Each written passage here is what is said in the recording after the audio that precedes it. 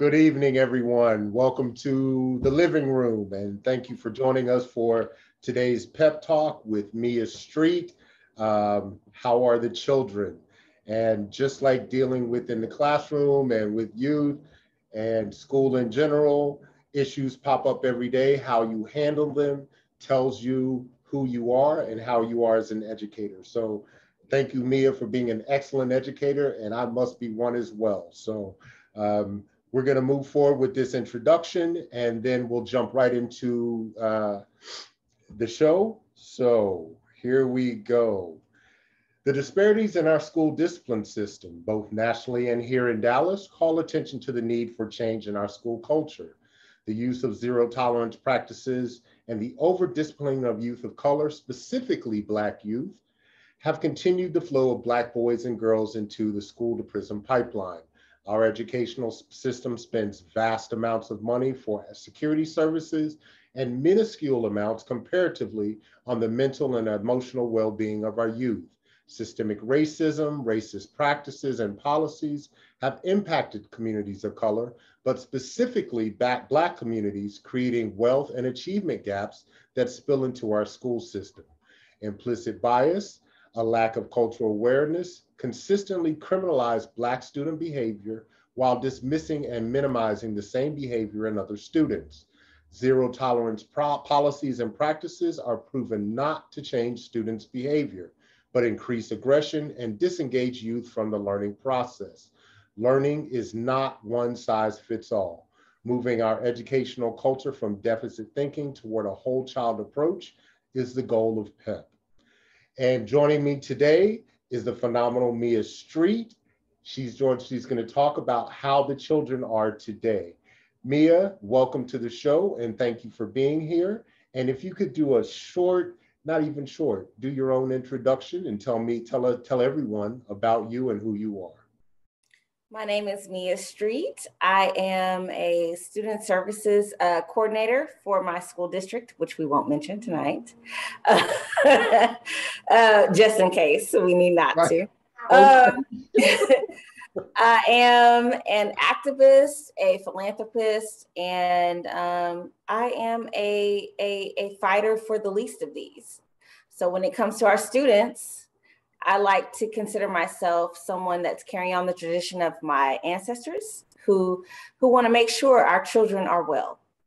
Yes, very good. You know, um, thank you for that because uh, we're talking about how Black kids are affected because disproportionately, and we're going to use big words for a little while and then we'll get right into it, but disproportionately, our kids, our youth are being affected uh, negatively by the policies and, and systems that are in place.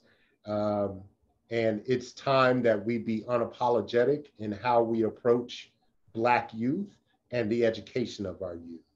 So I'm glad to have you today. I really am. I uh, got a chance to sit on a panel with you and it was amazing. So I'm gonna ask you, tell me why you're in education and tell me about your mentoring program, which is amazing. Oh, thank you. Uh, so I come from a long line of educators. Uh, my grandfather, Moses Lee Osborne, uh, he actually, um, in a small community called uh, St. Rest, Louisiana, he tried or he did teach um, a community of African American folks to teach uh, to, to read and um, he almost lost his life doing that. Yeah, so the Klan came and and uh, roughed him up and put a gun to his head. So I come from that. Okay. I come from uh, a group of folks who would not allow the Klan to come in and burn down a church a third time in Louisiana. And they helped to create the Deacons of Defense which begat the Black Panthers. So I come from that. So it's in my DNA. it's in my DNA. um, it's in my DNA to to basically, like I said before, fight for the least of these. When we have students that are coming from these these places where they don't have all the resources, they don't have the love, they don't have the trust, and we can talk about that a little bit later. Yeah, we will. But um, they don't have the belief that educators need to have in our students to do well.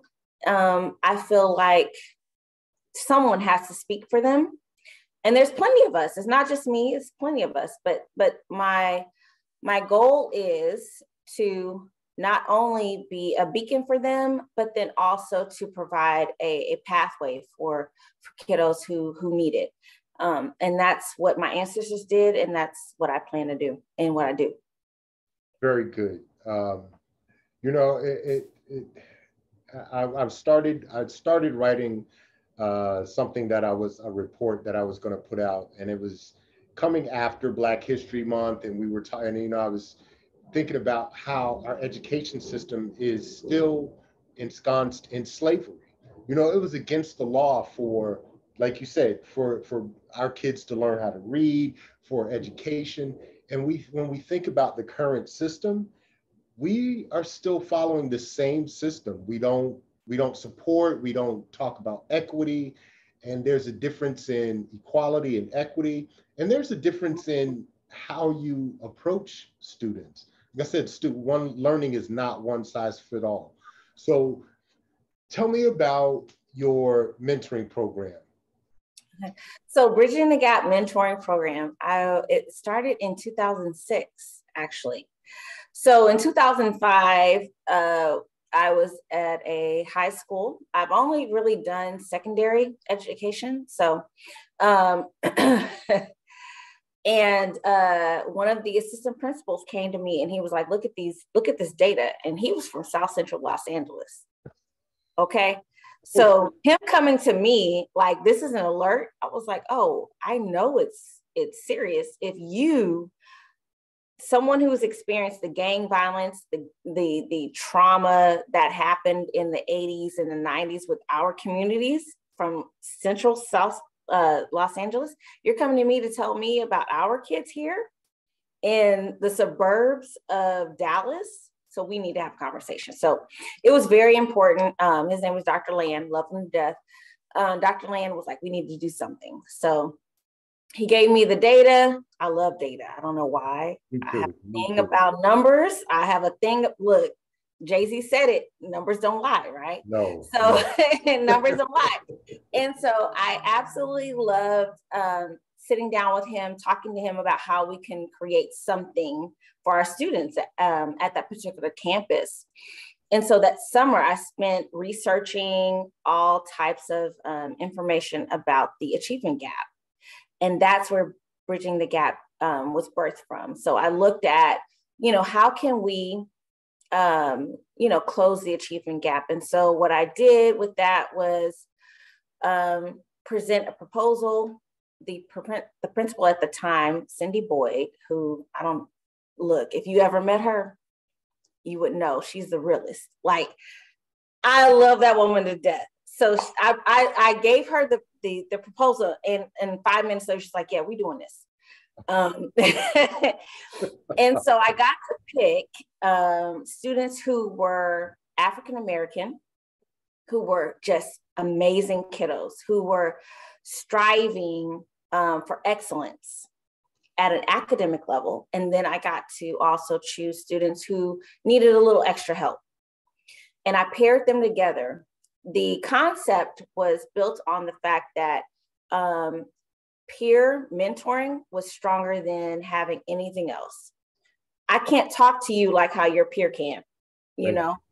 I'm not going to be in every class that your peer is in, but they will be. So they can hold you accountable and you can hold them accountable. And so that was kind of how Bridging the Gap peer mentoring came from. Uh, and the first meetings we would have every year, I would ask students, What do you want to be? What do you want to be? and they would tell me. And so my job was to go out and find someone that that had their same their, their same cultural journey. And they would talk to them about how they became whatever it is the student wanted to be. So I was struck one year with a hard task to find uh, someone who, um, and I can't think of the term now, but basically someone who's a fisher. I can't think of the term. Yes, yes, yes, okay. yes, yes. One of my students, he amazing kid. He came to me and like, Miss, I want to be whatever the term is, fisher for like a living. And I was like, a fisher? I need to find a black male fisher, fisherman okay. that's making a living off of this so he can mentor you. Yes. Okay. And I think it's an anchorman. I think that's the term.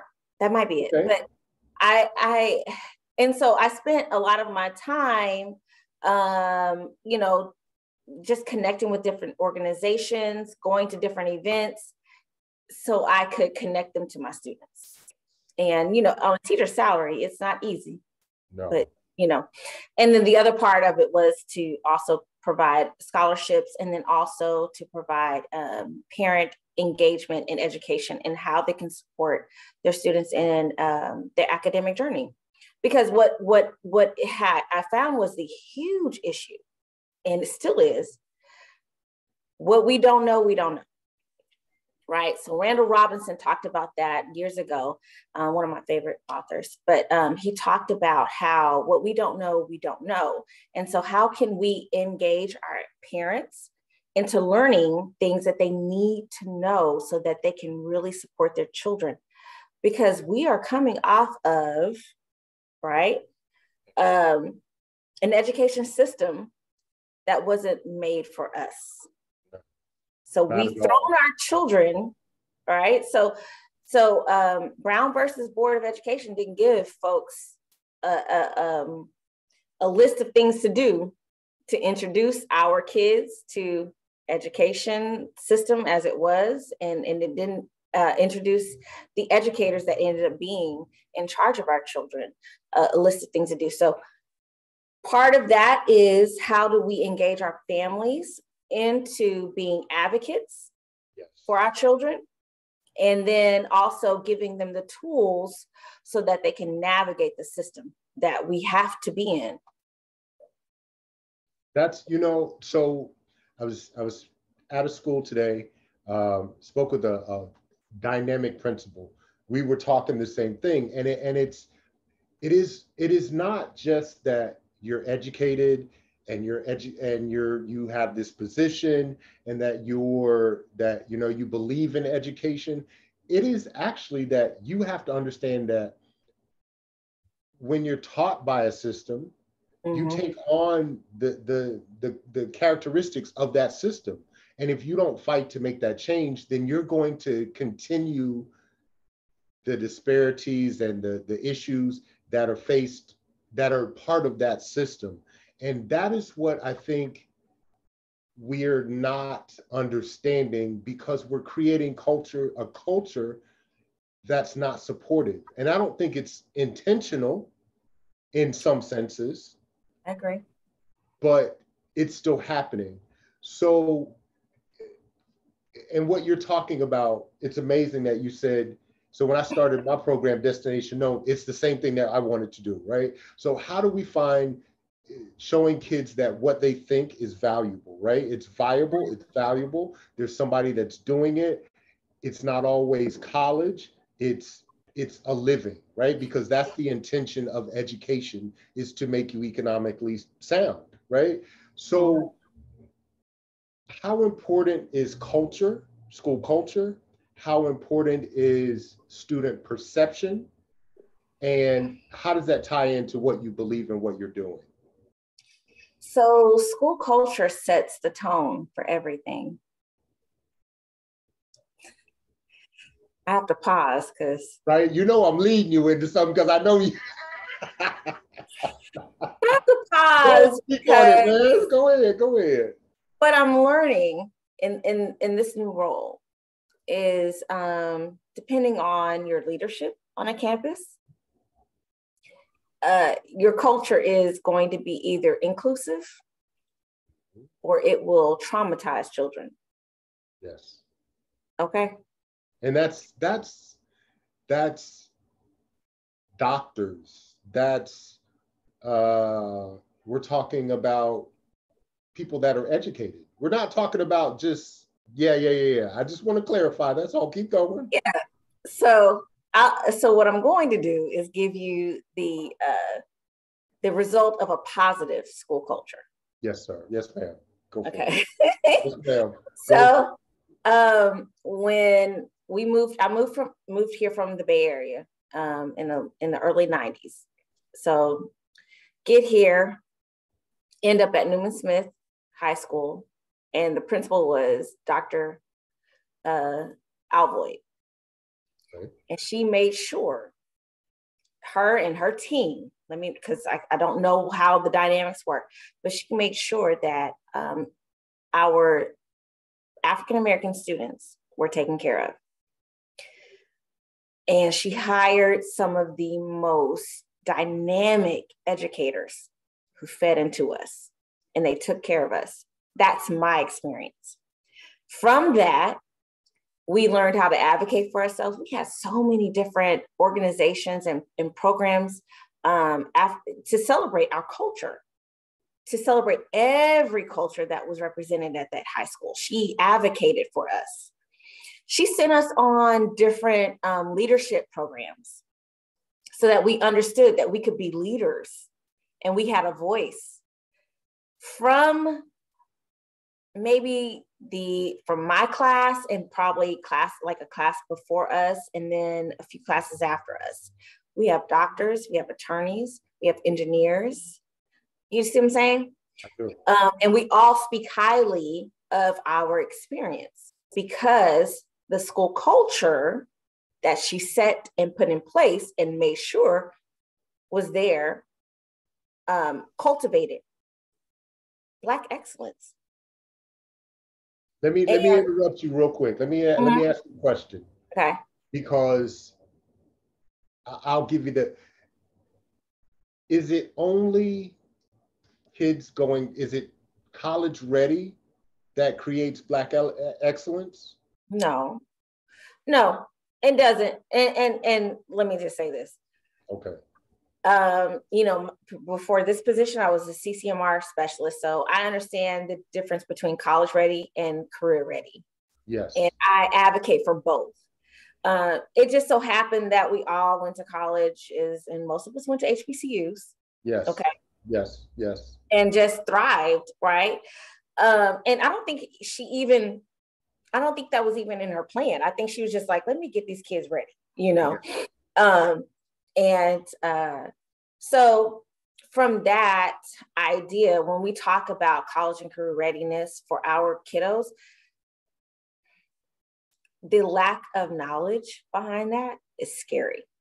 So, in my school district, we have so many certifications that our students could actually attain before graduating and getting a full time job and, and, and being self sufficient but for some reason it's not connecting. Like the information that goes out um, that that, sh- that we can share with parents it doesn't connect. And so um, i think that is a gap that we have when it comes to parents in general but specifically when we talk about uh, parents of color coming from uh, disenfranchised communities there's a huge gap in, uh, in understanding that your child could literally walk out of high school and have a certification in, in a profession that could uh, earn them a, a successful living.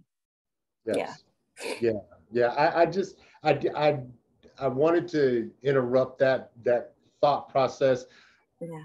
because we do spend, we spend so much energy, resources, and time on college ready, mm-hmm. right? And then we, we, it's, we downplay or we don't yeah. create as much hype for kids that are that are going that and we're talking 40 50% sometimes of our student body that aren't choosing college. Yeah. And what does that say to them? So i didn't mean to interrupt i did mean to interrupt your story. I just wanted to make sure that we don't get lost on the only option is is that. Like you know an anchorman they mm-hmm. You know, you have to find that and you have to figure out how important that is. Second part of that question, I was asking you the importance of self uh, self perception in our students. So, okay. So before social media, there's a mm-hmm. different conversation. right? Mm-hmm. With social media and after a pandemic, after a shutdown, the conversation becomes a little bit more traumatic because our students' self perception is often defined by what they're seeing online. And unfortunately, we don't always get a chance to um, do a good job of teaching them that they're better than what they're seeing, that the images that they're being fed aren't real. And so um, we don't get enough of feeding into them and pouring into them and loving them before they can get online and determine who they are. Because if we had those moments with them and we could tell them that, hey, everyone goes through, you know, A, B, C, and D, and everyone feels this way. And, and let me give you some tools on how to deal with those emotions. If we had more SEL, right? If we had more restorative practices, right? Then our children would understand that what they're seeing online doesn't define them right? And so self perception is built in um, not only, you know, saying who you are is okay and, and we're growing and all that good stuff, but it's also built, built, built in um, cultural acceptance. Nice. Who are you? Okay. Where do you come from? And the issue with our kids and everybody knows this, and this is why we are, we are having issues with CRT, right? Is if we can well, lie to you. Define CRT. Define CRT for those that may not know.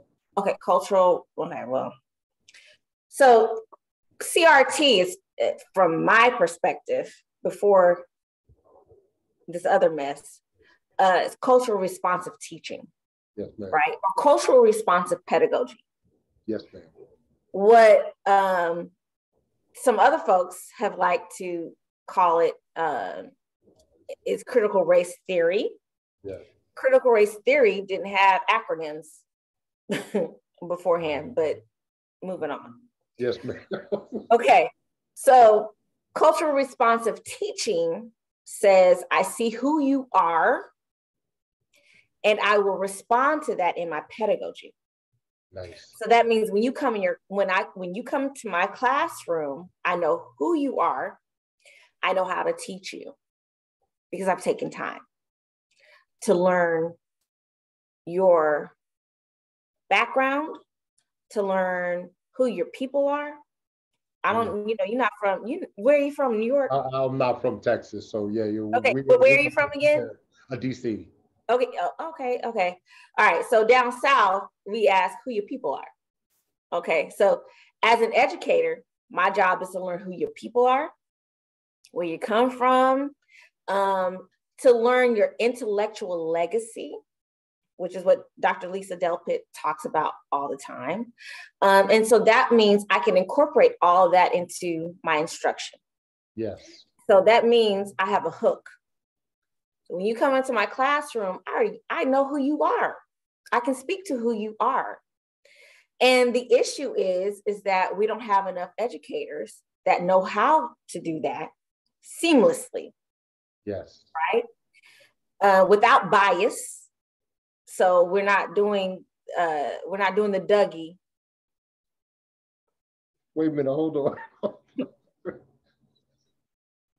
I'm not done now. Hold on. We're not we're not doing the Dougie to teach math. Yes, ma'am. We're not doing these special handshakes. Yes, ma'am. To Greek kids. We we are at a deeper level of culture. Yes, ma'am. Okay. And so I can hook kids on that. So I don't know if I answered the question, but that was my. You did. You did. So, no, no, no, no, no, no, no. Wait, wait, wait. We, I'm gonna. So let me clarify. I was born in Orlando. I grew up in DC. So I have that down south, but I've always been a, a child of the city. So okay. And I want to clarify that because my my folks gonna see that everybody, oh, he just don't even want to be. Nah, I grew up in DC. I, I was born in Orlando. Okay. but, but on top of that, what you just said was, we're not talking about culturally relevant teaching. Is not just a handshake, right? You don't get to come in and just high five and do all of that. That's that doesn't mean you understand me. Exactly. It is it is taking the time. So you answered it and it's important to, because we tiptoeing and I want to be for real, but I can't. You have to be. I don't. I don't plan to tiptoe tonight. Okay, good. So now you can't just talk about that foolishness like that. You don't get to slap somebody on the hand and give my a handshake and say that it's this, and you you get to talk to me any kind of way, and you don't really and know me. Can we add one more thing? Yes, ma'am putting more educators of color yes. in in, in a building doesn't doesn't mean doesn't anything. do it either. Come on now. Because you know in, in i'm not going to mention yes i am because I, I don't mind funding it tied to that. You know dallas isd is a majority educa- educators administrators uh, all of that of color culturally relevant doesn't mean that you just speak to my blackness. Yeah. It exactly. speaks to my economic situation. It speaks, exactly. you have to understand the difference between uh, like you said, bougie and and you know, because you you know when you go to HBCU, you get all of that. That you know, School Daze talked wonderfully about that, and you exactly. have to understand that that's a real thing. Yeah. And it's a real thing, not just in Black communities, but in all of our communities because that's what Fred Hampton was talking about when he was he went to a certain demographic. So when we start talking about culturally relevant and culturally competent, you have to check yourself and understand where you're coming from, who you're talking to. So I have a story about that. Go for it. Go for it. Go for it. Come on now. So, yeah, yeah, yeah. I'm, I'm, done today. Let's go. okay. So, you know, I, I went to Grambling State University. Mm-hmm. Mm-hmm. The Grambling State University. Virginia Union myself, Virginia Union myself. So I okay. did. yeah. Okay. so at Grambling, um, I came, I came from upper middle class, right? Get to Grambling, and I learned that everybody's not a Cosby kid. That's what I called myself. Mm-hmm. Got you. Okay. Yeah. Uh, my mom and dad did very well. Uh, my family, you know, very educated. And um, I met some folks from from Michigan. I met some folks, some folks from, uh, you know, Los Angeles, the Bay, and I was like, "Oh, we're not, we're not where I thought yes. we were. I thought we were Cosby kids." And I had to learn. That was a new level of learning I had to understand about my people, right? Yes. Graduate from Grambling, go to Louisiana Tech, get a job teaching. Um, few years later, I'm, I'm, I'm thinking I'm good. I think I understand us. Okay. And I think I understand us at all levels, at all economic levels. And 2018 happens. Mm. I'm co-teaching. I'm I come from a special ed background. I was a special ed teacher, and I'm co-teaching. And um, can I'm not gonna cuss, but I'm gonna use the terms. Girl, this is frank conversation about education, and can't nobody get more raggedy than me. So let's go. I love it. Okay, so so um, one of this this young, like beautiful little girl every every once in a while she was late to class, right? And um, and this is this is in where I graduated from, the high school I graduated from. And so this is my first year back into that community for years. So I wasn't aware of what all I was doing. I thought we was back where I was. You know, do you understand what I'm saying? Like I, I, I didn't know it was what it was. I didn't mm-hmm. know we were Section 8. I didn't know we were dealing with extreme poverty. I didn't know we were dealing with all of the stuff. So she comes into class every every now and again. She's she's late. Eventually, she becomes later and later and later. And so I'm leading the class and I tell her to sign the tardy book. And she looks at me and she says, FUB. And she's a little black girl, right? And my feeling was, why would she say that to me? I love her. Off the rip, I love her. Why would she say that to me? And I haven't, I've only told her to do what other teachers have told her to do. But she sees my skin, she sees the skin I'm in, and I'm gonna get it. If nobody else is going to get it, you I'm gonna get it. yeah. I'm gonna get it. Okay, so I said, I said, go ahead and go to the office. Cause my Louisiana DNA said I should have cussed her out. But we my get to that soon. let her We're make getting there it. soon. Got you right. Let that baby make it and love on her. And so when I got to the office, I told her she hurt me. I said, I don't know why you all are treating the only Black teacher y'all have like this. And she cried. Hmm. She said, Miss, I don't mean to do you like this. She said, I haven't eaten. Huh. So I'm late. It's because I'm finally getting something to eat. I said, Oh, you hangry? That's why I got cussed out. I said, I can I can deal with hangry. Right. Baby girl, tell me what you need. and so she explained to me that um, it, w- it was a, a long story, but essentially that her mom and family have been dealing with not having food regularly. And so yeah. if um, the bus, school bus, does not get her to school on time, she misses breakfast. And so she's to a point where she has to eat something. And so she will go and get something for lunch and then make it back to the campus on time. Um, if she doesn't make it back on time, she's late. And so she has to sign in late. But that day, she wasn't having it. And so I told her, I said, you know what? I said, you don't have to cuss me out no more. Um, you just tell me when you're hungry. And when we'll you're hungry, right? We'll fix it. And so that was um, my realization that our babies were not okay. That's when I was like, it doesn't matter what suburb you live in. No. It doesn't matter what hood you live in. No. It doesn't matter what city you live in. We have children that are in need. Yes. And if we are going to be educators of color, we have to go 150% times harder to make sure they're okay. And so um, I just pulled her and a few other kids aside and I, just, I, I sat them down and I, I was like, what's going on? what I learned from those conversations with them and then other students was that they were experiencing racism. They didn't know how to advocate for themselves. They were experiencing poverty.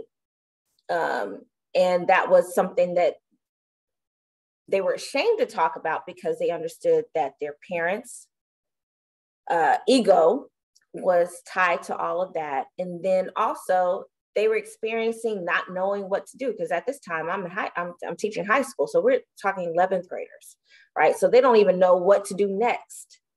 So it was just a, a, a combination of so many things, and um, I was just like, okay, how can I at least be a little bit of help to get you to be self sufficient and advocate for yourself? So, yeah. You know, all the questions that what you're saying, you answered the question perfectly and you led to something else. So, you know, we talk about like deficit, deficit teaching, deficit learning, and that approach. And you know, I can't stand Ruby. What's Ruby's Ruby Payne? Ruby Payne.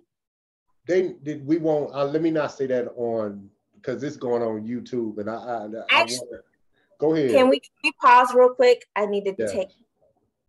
Yeah, and then I'll be right back. Is that okay? Yes. Okay, I'll be right. Take a short break. You guys yes, hold on. Break. Okay. Go ahead. Go ahead.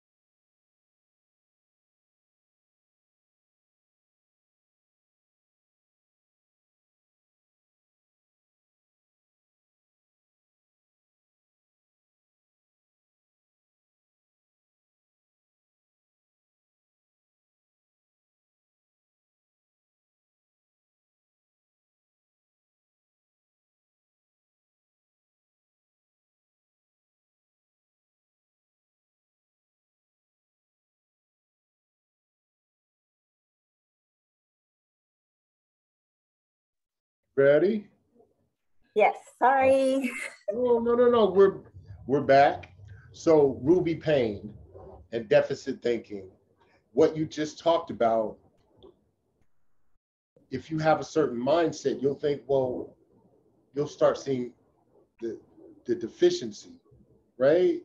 And you'll mm-hmm. start thinking that it's this and it's that without laying blame where it should be, because we're going back to talking about slavery, about the edu- the ability that we didn't have the opportunity. You know, the board of Brown versus versus the board of education, the not uh, redlining, all those things that have created these situations, and then you're going to say, oh well, these kids have no, sir and ma'am, you've created these oper- this this environment. I am more than capable of surviving in this environment, this hostile environment that you've created. I've done, I am resilient, I'm brilliant. I've come to school and done things and fallen in line as best I could with all the roadblocks that you've set in place. And you consider me at risk, or if I'm at risk of anything, it's your foolishness. So that's where I stand with Ruby Payne. And uh, I can't stand a woman. I can't stand people don't who follow that.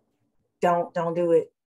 Okay. You're about to say it. Go ahead, say it. No, no, no, no. I'm not gonna say it because I need a job later. So don't say it. I want listen, listen. I'm going back to get my my school social worker, uh, psychologist degree. So I mean licensure. So I don't, you know, I'm really being funny. I, I really don't care. But that's what you're talking about. So we don't see these kids as deficient.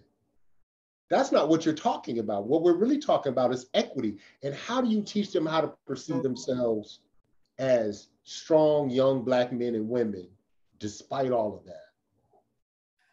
So you mentioned a really, really good thing, and that was roadblocks. Thank you. Right.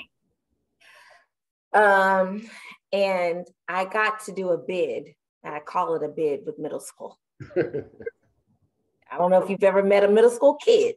Yes. They, they built That's different. I like to deal with. I love it. Oh, you love that? Okay. Yes. No, thank you. Never yes. again. one year was good enough. I did a one year bid at the middle school, Lyles Middle School, um, under some amazing leadership. Uh, so um, I had a principal uh, so let me just say this. The campus before i got there these kids were breaking into to teachers cars fighting. It was like it would it remember when um was it not School Daze uh i'm trying to think um joe clark the movie? Yes yes yes yes what was the movie called? Uh lean on me lean, lean on, on me. me. It was lean on me. Okay before I got there, it was lean on me. He shows up he starts putting things in order. So he understood how to, you know, change school culture and things like that. Yeah. So thankfully I got there in time when when things had already started changing. And I remember meeting with him, uh, brilliant, brilliant educator, like a brilliant mind. And he he taught me one, um, how to, and I don't think he meant to teach me this, but he did. Uh, what does learning look like in a classroom? right? So if you're walking by a classroom, what are the few things you need to be able to see and hear and feel so that you know learning is happening? And then the other thing he taught me was when we're talking about our children, understanding the roadblocks that they have to go through just to make it into your building. Right? Come on now. Come on. Just to make it into your building not to even be ready to learn. No, no. And he said there, I forgot the number he gave me, but he said, Mia, there's such and such amount of roadblocks. They have to just get here. And so if we don't have teachers that understand that this is that, they're not going to get it. So they're going to be pissed off when a kid doesn't have paper or a pencil or a backpack or whatever, because they don't understand this kid just slept in another apartment with no electricity. Mom was out doing whatever. They may have been abused. They may have seen, you know, something crazy happen that night, but we're going to get on them about not having a pencil. Or, or talking back in the class when I'm just trying to survive. Yeah. And then we're going to step into the fact that you're not making this relevant to what I have to, what you, to we were talking about this today. I went to see Dr. Shambly and out in DeSoto, and I, yeah. I absolutely love her. She's amazing. I met, yes, I met a principal that was absolutely amazing. I saw some kids that were absolutely amazing, and yeah, they were. But it's you. You got to see them being kids. They are not. You are not. We are not teaching them anything relevant after yeah. sixth, fifth or sixth grade, we're talking about you're getting ready to go into life, right? Mm-hmm. You taught me my ABCs. You taught me if I'm not going to college, please tell me what is relevant to why I need to be here. It, it's not culturally relevant. It's not important to what I see on a day to day basis. It's not helping me function in a way that I think it needs to. So, how are you going to engage me when it's not doing those things. And it was amazing to hear a principal that spoke about what you're talking about, like those roadblocks, and knowing that we have to change how we teach. Education is not teaching to the test, education is not telling a kid, I don't even like to be told what to do. You know what I'm saying? Me neither.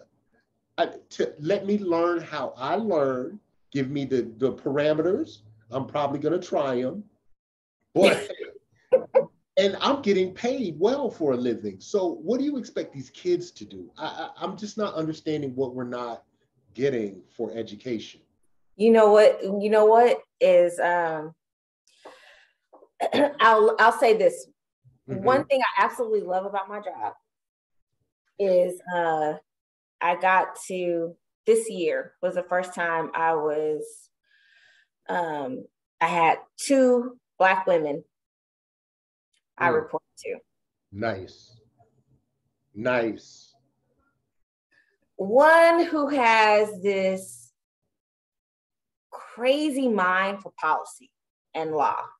And then the other one who, one of the only Black women in, in the state of Texas who has her role right. She it might be like six or seven of them. I did the numbers a years ago when she first got appointed to being assistant assistant superintendent. I was like, oh, you know. So she's like one of the she was one of the only ones. Um, and in that position, um, the assistant superintendent decided to start having what we call these real talks.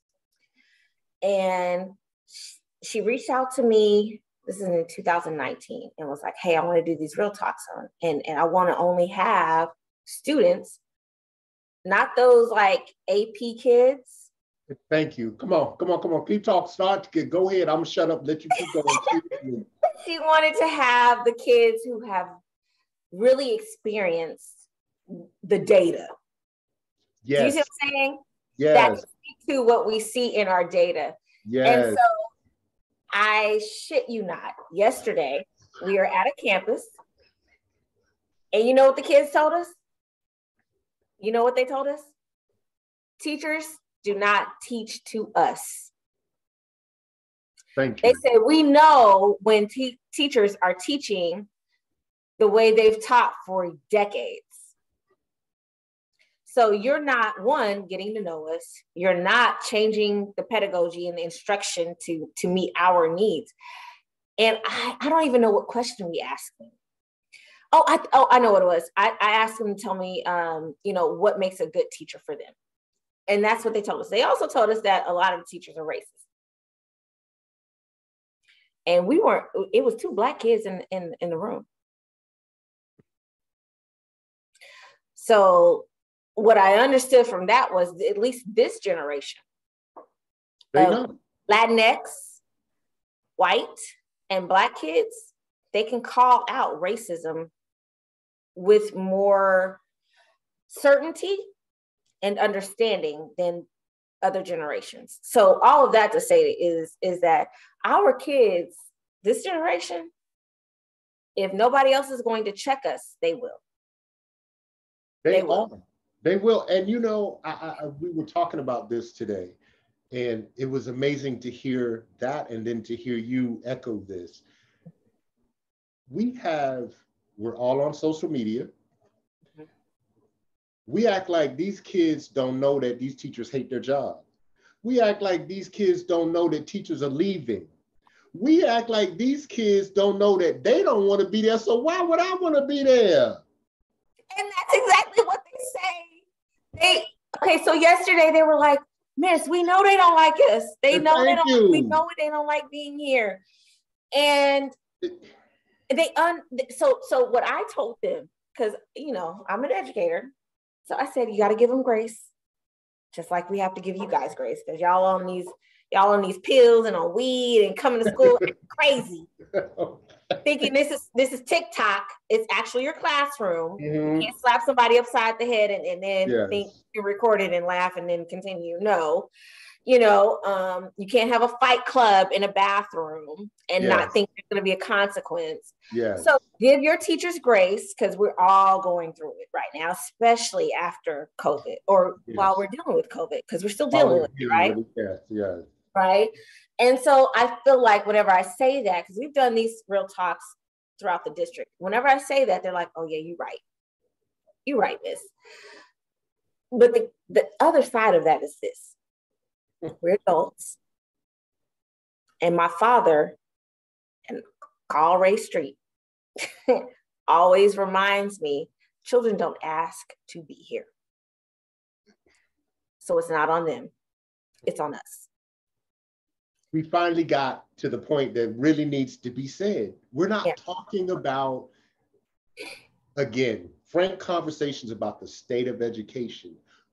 We're still trying to implement things that we know not it is not that it is plateaued the school to prison pipeline it's increasing steadily we yeah. talk so much about data we talk so much about this that and the other but if we look at the data, we know that this doesn't work. So why are we still doing this? Because it's comfortable. And, and so we have to look at so so this is the thing. We have to look at who's who's doing the doing. Come on now. Yeah, well, I'm trying to be nice. We, okay, we, well, I'll, I'll give you I'll give you this data. Okay. Uh, when when we when we integrated, okay, so 80 something percent of educators of color lost their job. Okay. So that means that those who were um, benefiting from the structures of Jim Crow and um, desegregation or inter, inter uh, yeah desegregation yeah. We'll take that. Segregation. were then in charge of bodies who they had never felt were human. So we're looking at 1968 hmm. to now. And no one has really done a good job of training educators. So we're looking at 84% of educators are, are white females, right? No one's done a really good job of training those educators and even black educators. And I'll talk about that in a minute. Get to okay. it. Get to it. I'm get to that in a minute. Because we in Dallas. But, Dallas, but I'm gonna let you. I'll just say this in general. There's no real good yes. training, and no, let me say this: there's no mandatory training. Yes. That says to be in front of a diverse group of students, you need to have this level of um, understanding, empathy, compassion, social emotional learning skills, and um, just a, a certain toolbox when it comes to your pedagogy to reach them. Because you can get a certification off of just knowing basics. Yes. Just the basics, not the human, just the basics. And we're teaching humans. Make that make sense. Really and, and what's scarier is, what's scarier is we don't know as community, as a community, as parents, um, and I try to tell my friends this when you send them to these schools, you need to be ready to have your gloves on at all times. At all times. Because what your child is going to tell you, and this is what my my two nieces came back, and I was I was I was ready. But they are off in a predominantly white school district, and they were being mistreated. And what I told my my sister now, she's not my blood, but you know how we are. Yeah, yeah. Okay, you know we are. Yeah, yeah. Okay, this is my sister. Yeah, yeah, yeah. I told her, I said, let them come home one more time and complain about. I said, I'm gonna come up there. because what I do understand is this you may have not learned how to teach us, but you're gonna learn how to be without a job if you you're don't. learn today. How they say you're gonna learn today. You're gonna learn today. Try me. Try me.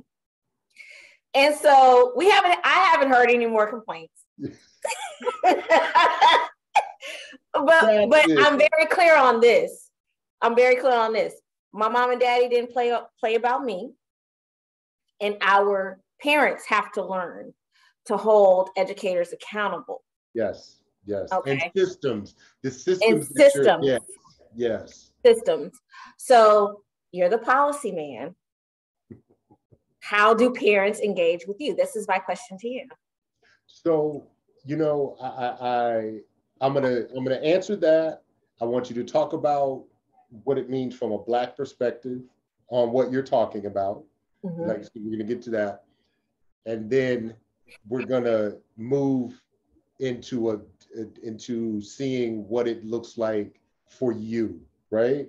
Okay. As a policy person, I am still struggling with the fact that we're t- we're telling we're telling we don't we we're fighting over shall and may. We're not talking about creating new policy. We're talking about whether the district give tells a, a principal shall or may. That's two years of fighting for, for one word of saying, no, you are going to implement this at your at all schools because we know that it fights this. We haven't even started talking about like they, we keep fighting. We're all of that needs to be scrapped. My biggest thing is, you know, they didn't have no problem making Jim Crow laws that spoke specifically to what Black people couldn't do. They didn't have no problem specifically writing, changing laws on the fly about how kids couldn't, Black kids couldn't do this and that. So when are we going to just scrap all these laws? We don't need to be talking about shall or may. We need to say that at every school, this is what we will be done. Booker T. Washington fought for for uh, career readiness. We had someone else. We had uh, uh, what's his name? Uh, I can't think of his name right now. It won't come to me. But he fought for liberal arts. Um, what was his name? Uh, can't think of it now. Anyway, both of those need to be in our schools. They need to have what's so culturally relevant teaching that is specific to you don't if you don't want to taught it at that school and then you need to have that stating every school needs it needs to be district led these things. I, am tired of fighting over shall and may. You know i love how you frame that. I that's love how you frame over. Because that's what we're fighting so this is what my frustration and, and i love how you you frame that because that's exactly what it is. Um my instinct is to not fight over shall and may. Yeah mine either. I knew i know that. I just rather do what i need to do. Right thank right? you. And my instinct is to do what's best for the least of these so yeah. however that however that happens to you doesn't matter to me. Yeah, yeah. Because these babies are more important to eh, are more important than your feelings. Yeah, yeah. Yeah, okay? yeah, yeah, yeah, yeah, And and they're definitely more important than how we've been doing things. Yes, yes. Because it's not working. Because it's not working. And, and then more about data. When we're talking about 2022, we're looking at 2019, 2020, 2021. These children have dealt with things that no one has experienced ever. So, why are you trying to fix things with old ways? These are new problems and not just always, but real always. Nothing has changed since the data has not changed since. The data hasn't changed since it since 2002. We, Did we still quoting people from 2002 and 2005? Yeah, yeah. Come on, so, man. So my concern is this. This is my concern. Um, do you want to be a part of transformation, growth, freedom? Freedom. Keep going. Okay. I got you. Or are you just comfortable? And are you benefiting from this in any kind of way? So when we just kind of go back to what we're talking about, when we talk about um, educators of color, okay, hmm. are you comfortable? If you're comfortable, that's a problem. You shouldn't be comfortable. Not when we look at this data. No. No. If you're comfortable in these meetings and you're looking at data and you're not saying something, you're part of the problem. You're part of the problem. So to, to, to speak to that, so when uh, in my district, uh, I, I I went to the assistant superintendent, black woman, love her to death, and went to who I, at that time I was um, reporting to um, uh, the director of CCMR. And I said, hey, we need to have an equity team. We need to have equity, blah, blah, blah, you know. And the CCMR person was like, yeah, let's do it. You know, white woman, yeah, let's do it. Black woman was like, oh no. Oh no. But let me tell you why those two things were different. Black woman understood the roadblocks. White woman was like, oh, it sounds good because everything sounds good. Everything sounds good. Because we're not really about to do the work. Yeah. That uh, it, come on now now now. Okay. okay. So either way, we start doing the work. Okay. And um, with that work becomes me looking at where has this work been done before and, and has it been successful? And I, en- I ended up identifying the work that's been happening in um, North Carolina, don't get me to naming the city because I don't want to get it wrong. But I identified this particular school district and um, they were doing some amazing equity work. I get them on the call with me, my assistant superintendent.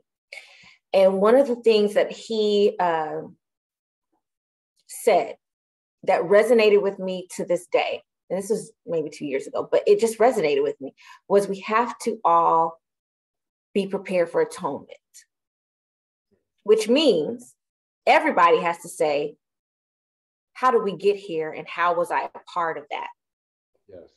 So as, as educators of color, we have to be very clear that we've we've played a role in where our children are.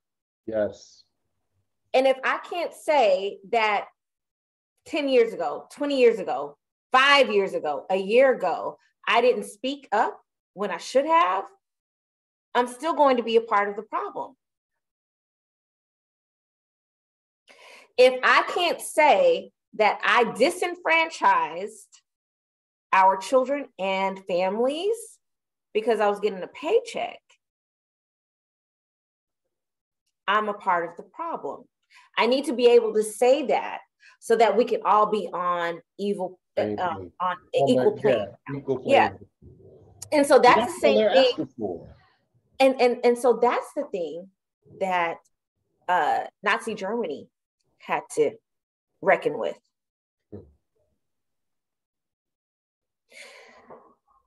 And if the Nazis had to, you had know to, were forced to, were forced to, then little of us can figure that out, right? It should be simple. But egos, money, and and power, and and and you know, and then also we have to understand that some of us are really a part of the system and we don't know it.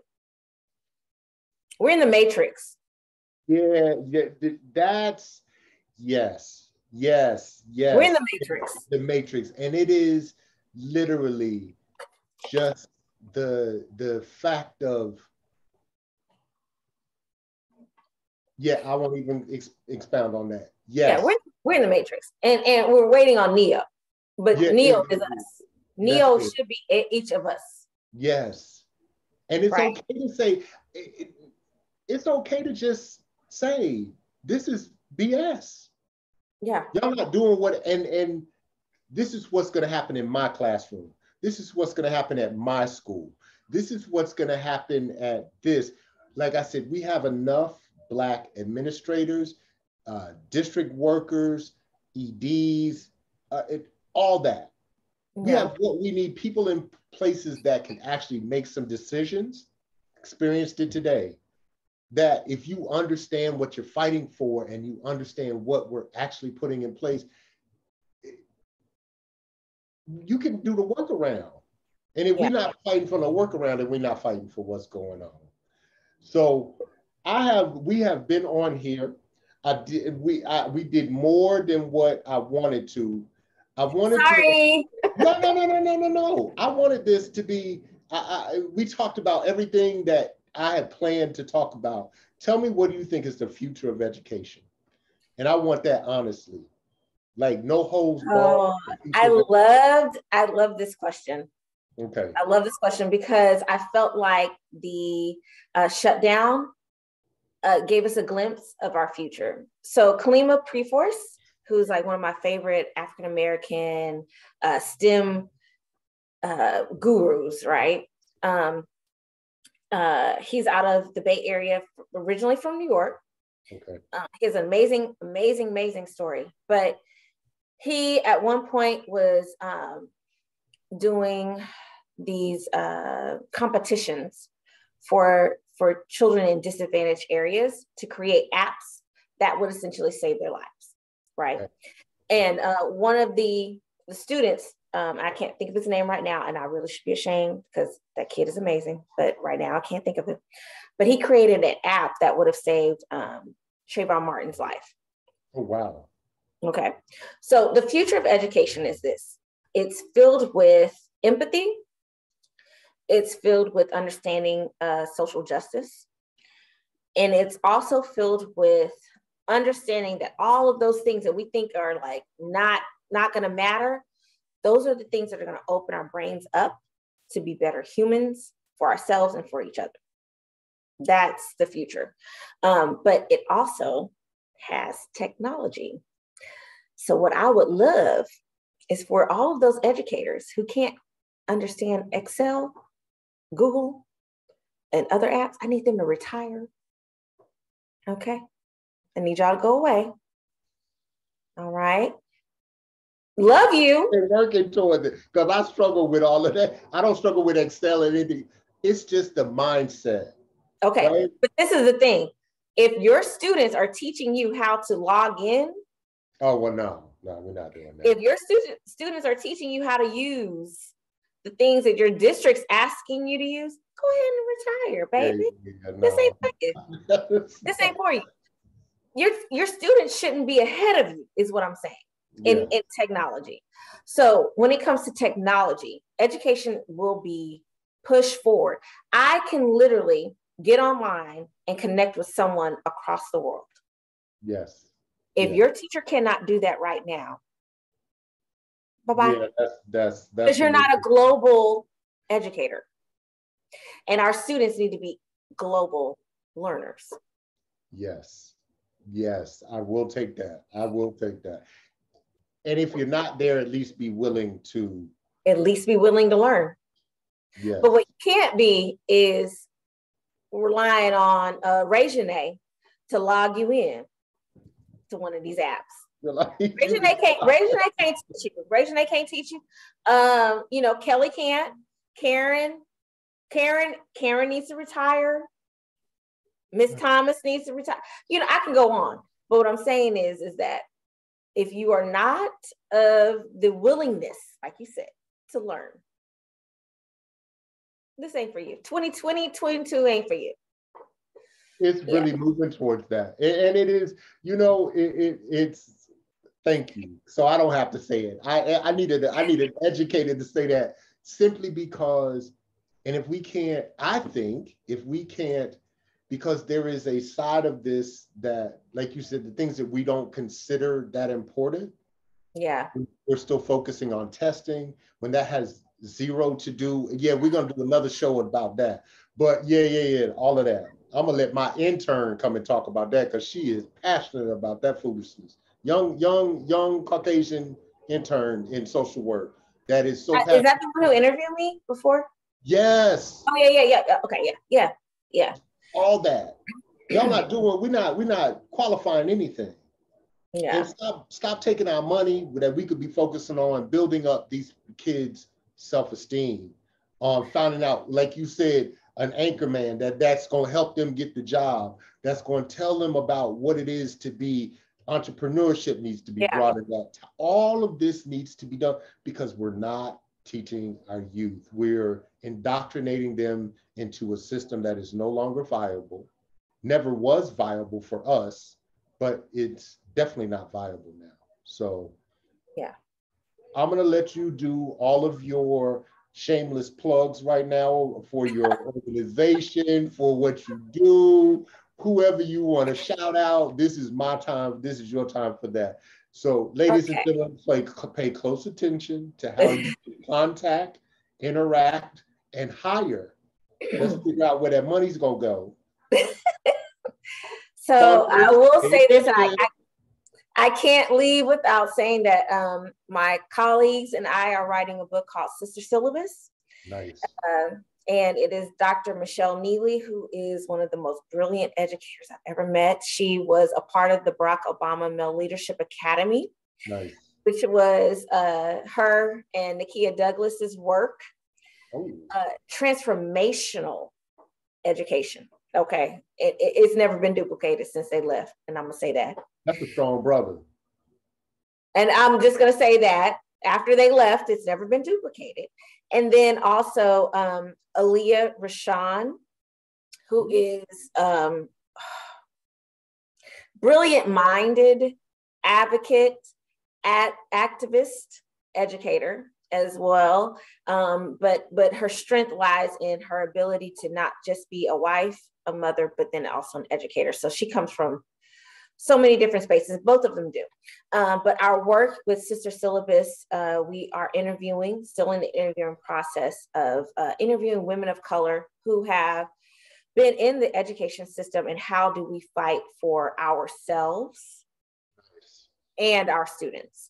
Um, because what often is left out of the conversation is, um, and I'll quote one of the the educators I'm, I'm, I'm working with now. My first, probably the first week I was in the administration building. Uh, I, I just left a, a, a school and I was just kind of blown away with how they were treating Black boys. And I made a comment towards her. She's an African, older African American woman with a doctorate. Okay. Mm, mm, mm. Because this sounds good, but keep going. Go ahead. Earned, earned doctorate. And I said, I can't believe they were doing this. And she was like, Well, if you can't imagine that, you won't imagine how they treat us. Hmm. So that led me to that part of that led me to um, trying to discover not just what is happening with our children but what is happening with african american educators uh, yes. uh, particularly women. So it's called sister syllabus and um, we are working on that and the website is sistersyllabus.com very nice. Is there anything you need to do for your organization um, so Bridging the Gap mentoring uh, mentoring program, I have put that on hold only because the work I'm doing right now, I'm getting paid to finally do. Hey, so, hey, hey! And I was funders. doing the same thing before. Yes, yes. So listen, listen, funders. I'm going to stand this. I'm going to stand this because we talk with this goes in front of people that, that have some money, and we're talking about. Listen, we're not. We're no longer focusing on outcomes that are not responsive that that are that are not talking about true change. We're talking about let's start funding on mindset. Everyone else gets it. Come on. So there's there's a few organizations if you go back through this that are talking about changing mindsets. Focus on funding for mindsets. Focus on funding for how somebody thinks, whether they succeed or not. It's the fact that you changed how they think. That's what our kids need. If you want to feel good about your money, come check this sister out. Donate. Look her organization up.